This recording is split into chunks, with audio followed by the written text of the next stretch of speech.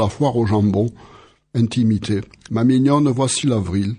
Un air plus doux flotte l'âme populaire du Saint-Doux, et des frites ce soir invitent aux indécences les troubades sorties avec leurs connaissances, les boutiquiers ventrus, au blaire euh, de Tamanoir, en famille, on emplit le boulevard Le Noir.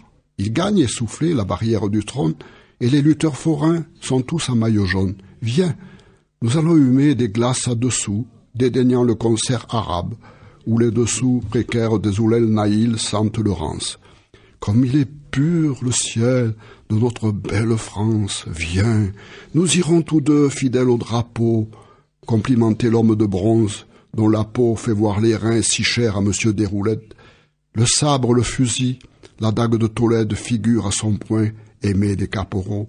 Les croûtes de Neuville et celles de Moreau.